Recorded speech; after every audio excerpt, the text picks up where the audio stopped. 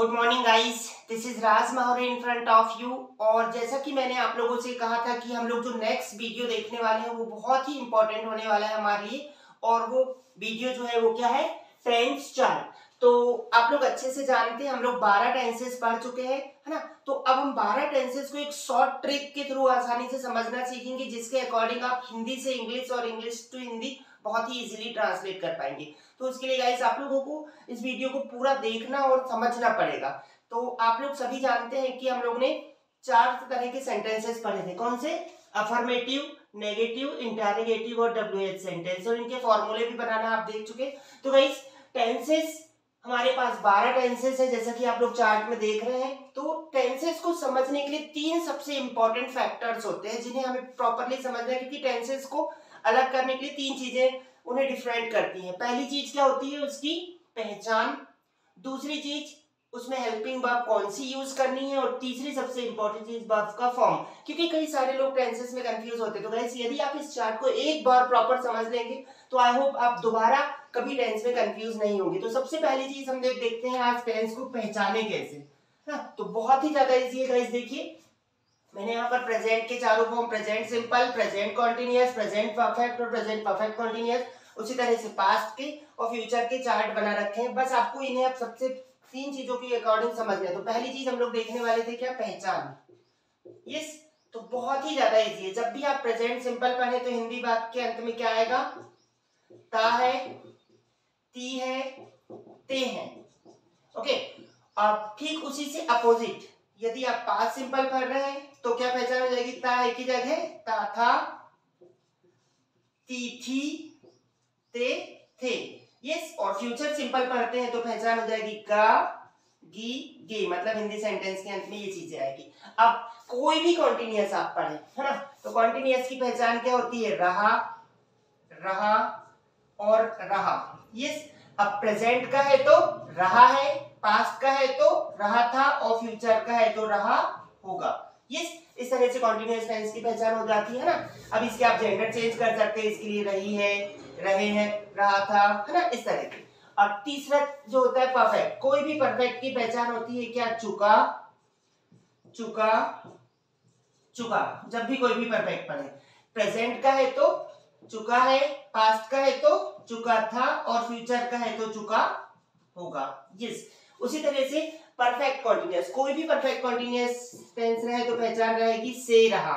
Yes से से मतलब हमारा किस चीज़ से होता है? टाइमिंग से। यस तो तीनों की पहचान क्या है? से रहा से रहा से रहा। अब प्रेजेंट का है तो से रहा है। पास्ट परफेक्ट कॉन्टिन्यूस है तो से रहा था और फ्यूचर परफेक्ट कॉन्टिन्यूस होगा तो से रहा होगा। इस तरह से गाइस सबसे पहली चीज़ आप लोगों ने देख ली, हिंदी में पहचानना बहुत ही ज़्यादा इजी है।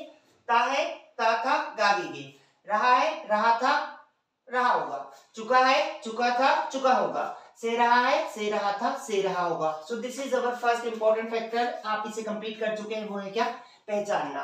अब दोनों टेंसेस को अलग जो करने वाली चीज़ होती है नेक्स्ट वो क्या होती है? हेल्पिंग वर्ब क्योंकि हेल्पिंग वर्ब के अकॉर्डिंग हम लोग टेंसेस को हमेशा डिफरेंट करते हैं। तो बहुत ही ज़्यादा इजी वे में आपको समझाऊँगा मैं, जो, जिसे आप बहुत इजीली याद भी रख सकते हैं। तो प्रेजेंट सिंपल इसका जो हेल्पिंग वर्ब होगा, वो क्या होगा? डू और डस ओके डू और डस का अपोजिट सीधा पास सिंपल का हेल्पिंग वर्ब क्या हो जाता है? डिड यस उसी तरह से फ्यूचर सिंपल में आप या तो यूज़ करेंगे सेल कहा? आई और बी के साथ। बाकी आप आज मॉडर्न ग्रामर में हर जगह भी यूज़ कर सकते हैं, सभी के साथ नो डाउट है ना? कोई भी कॉन्टिन्यूस इसका हेल्पिंग वर्ब रहेगा is am are present continuous का, इसका अपोजिट पास कॉन्टिन्यूस का वाज और वेयर इनका हर जगह बिल ही हेल्पिंग वर्ब रहेगा, लेकिन इसके साथ आप क्या लगाएँगे? बी ओके इस तरह से is am are was were और विल बी कोई भी परफेक्ट मतलब प्रेजेंट परफेक्ट का हेल्पिंग वर्ब क्या लगाएँगे? हैव और हैज़ और पास्ट का उसी से ठीक अपोजिट हैड यस और इसका मैंने आपको बता दिया, हर जगह हेल्पिंग वर्ब रहेगा बिल इसके साथ आप क्या यूज़ करेंगे? जैसे आपने कॉन्टिन्यूस में बी जोड़ा, यहाँ आप हैव जोड़ेंगे। यस अब कोई भी परफेक्ट कॉन्टिन्यूस टेंस की पहचान मतलब उसकी हेल्पिंग वर्ब तो जो हेल्पिंग वर्ब आपकी परफेक्ट में है सेम वही हेल्पिंग वर्ब यहाँ ट्रांसफ़र हो जाती है, बस उसके साथ क्या जुड़ जाता है? बीन तो इसके साथ क्या हो जाएगा? हैव हैज़ ट्रांसफ़र प्लस क्या लगा दिए? बीन उसी तरह से हेड को ट्रांसफ़र कर दो यहाँ हेड प्लस बीन उसी तरह से सेम हेल्पिंग वर्ब यहाँ की, यहाँ बिल है प्लस बीन तो इस तरह से हमने दूसरा इंपॉर्टेंट फैक्टर कवर कर लिए है क्या? हेल्पिंग वर्ब बहुत ही ज़्यादा इजी है. टू डज डिड है ना? Is have are was verb have has had have has been had been और यहाँ पर हर जगह आपको बिल बिल बिल कंटीन्यूअस में बी जोड़ दीजिएगा. परफेक्ट में हैव और यहाँ तो बीन लगा लेंगे. यस तो ये हमारा सेकंड इंपॉर्टेंट फैक्टर था हेल्पिंग वर्ब आई होप आप इसे भी बहुत इजीली समझ पा रहे होंगे। अब तीसरा सबसे इंपॉर्टेंट फैक्ट जो होता है, वो होता है हमारा क्या? वर्ब की फॉर्म यूज़ करना। तो बहुत ही इजी है गाइस कोई भी सिंपल पढ़े वर्ब की कौन सी फॉर्म लगाना है? फ़र्स्ट फॉर्म है ना? यस बस ये याद रखना कि क्या? नोट ये याद रखना अफर्मेटिव जो फॉर्म रहता है, इसमें वर्ब की सेकंड फॉर्म लगाई जाती है पाँच सिंपल में। बाकी सब जगह वर्ब की फ़र्स्ट फॉर्म लगाने हैं, है ना? अब ये चीज़ मैं आपको पाँच सिंपल टेंस वाले चैप्टर में बहुत इजी समझाया तो आप वहाँ जाकर इसे देख सकते हैं कि क्यों, कैसे लगाना है और क्या करना है। बस यहाँ शॉर्टली याद रखना है क्या? कि जो हेल्पिंग वर्ब है, क्या? डिड है ना? वो अफर्मेटिव के साथ यूज़ नहीं होती इन दोनों टेंसेस में। पहली और दूसरी चीज़ क्या है? कि आपको यहाँ वर्ब पे फोकस करें तो हर जगह कोई भी सिंपल पढ़े वर्ब की कौन सी फॉर्म लगानी है? फ़र्स्ट फॉर्म पास सिंपल के अफर्मेटिव को छोड़कर। यस कोई भी कॉन्टिन्यूस पढ़ेगा इस आँख बंद करें और क्या लगाएँ? आईएनजी कोई भी कॉन्टिन्यूस हो, कोई फ़र्क नहीं पड़ता है। यस तो चाहे प्रेजेंट हो पास्ट हो या फ्यूचर कॉन्टिन्यूस हो, इनके साथ आपको आईएनजी फॉर्म यूज़ करना है। कोई भी परफेक्ट यूज़ कर, पढ़े वर्ब की थर्ड फॉर्म यस और कोई भी परफेक्ट कॉन्टिन्यूस पढ़े बीन के साथ आप क्या जोड़ दोगे? वी आई एन जी है ना? हर जगह बीन के साथ आप वी आई एन जी जोड़ दीजिए। ये हो जाता है आपका बफ। तो बहुत ही सिंपल है। कोई भी सिंपल टेंस पढ़े आप, चाहे प्रेजेंट हो, पास्ट हो, फ्यूचर हो, वर्ब की फ़र्स्ट फॉर्म, पास्ट सिंपल के अफर्मेटिव को छोड़कर। कोई भी कॉन्टिन्यूस पढ़े वर्ब में आईएनजी कोई भी परफेक्ट पढ़े वर्ब की थर्ड फॉर्म, और कोई भी परफेक्ट कंटिन्यूअस पढ़े been plus V I N G है ना? और चूँकि इस टेंस में टाइमिंग आता है, इसलिए टाइम के लिए हमें क्या लगाना होता है इसमें? सिंस और फॉर है ना? और कहा सिंस और कहा फॉर लगाना है, मैं आपको टेंस पढ़ाते समय काफ़ी अच्छे से क्लियर करा चुका हूँ। यस आप पुराने वीडियोस को देखें इजीली कवर हो जाएगा। तो गाइज़ ये रहा आप लोगों का पूरा एक टेंस चार्ट जिसके देखते हुए आप बहुत ही इजीली सारे टेंसेस को समझ सकते हैं। जैसे कोई भी आपसे बोल दे, मैं पढ़ा रहा हूँ। तो रहा हूँ आपको तुरंत दिख जाएगा, यार कंटिन्यूस है ना?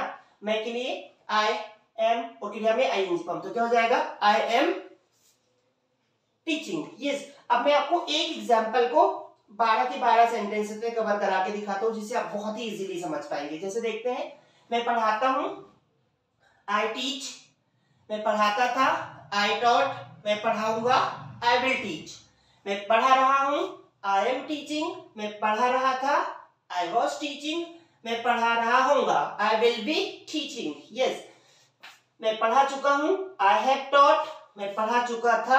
आई हैड टॉट मैं पढ़ा चुका होऊँगा आई विल हैव टॉट मैं सुबह से पढ़ा रहा हूँ। I have been teaching since morning I had been teaching since morning I will have been teaching since morning yes तो आप देख रहे हैं, इन टेंसेस को आप ना प्रॉपर सेंटेंसेस को लिखिए और उसे एक के बारह फॉर्म बना के देखिए। तो बहुत ही इजीली आप इस चार्ट के थ्रू टेंसेस को समझ सकते हो। जहाँ भी आपको दिखा कि यार सेंटेंस के अर्थ में क्या है? चुका था।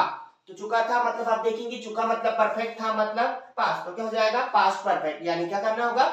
सब्जेक्ट हेड और वर्ब की थर्ड फॉर्म बाकी के चारों फॉर्मूले तो बनाना आपको मैं बहुत बार बता चुका हूँ। तो गाइज़ ये है आप लोगों का चार्ट इस चार्ट को आप प्रॉपर देखें। इसका स्क्रीनशॉट लें और इसे लिख के प्रैक्टिस करें। और यदि आपको ये चार्ट क्लियर है तो आई होप कि आप सारे टेंसेस को बहुत ही इजीली वे में समझ सकते हैं। तो दिस इज़ द रामबाण to understand the tense okay और इनका पूरा डिस्क्रिप्शन आप टेंस के सारे वीडियोस देखकर भी क्लियर कर सकते हैं। मैंने साथ ही आपको इनके यूजेस वगैरह भी बता रखे हैं। तो आई होप आप इन सब चीज़ों को समझ गए होंगे। और एक लास्ट चीज़ बताई जो मैं आपको बताना भूल गया, वो क्या? कि सिंपल और पास्ट सिंपल ये दो ऐसे टेंस है जहाँ पर ये जो हेल्पिंग वर्ब है डू डस है ना डिड इनके अफर्मेटिव फॉर्म में ये यूज़ नहीं होती है। है ना, मैं आपको ये भी चीज़ भी बता चुका हूँ तो डू डस को अफर्मेटिव में यूज़ नहीं करेंगे। जैसे मैं पढ़ाता हूँ तो आई टीच मैं पढ़ाता था तो आई टॉट है ना? यस तो आई होप अब आप टेंसेस चार्ट को पूरी तरह से समझ गए होंगे। इस चार्ट को आप प्रॉपर अपनी कॉपी में लिखें, उसकी प्रैक्टिस करें। Okay guys wish you all the best इसी तरह से आप हमारे वीडियोस के साथ बने रहें। वीडियो को ज़्यादा से ज़्यादा लाइक शेयर और सब्सक्राइब करें। Have a good day.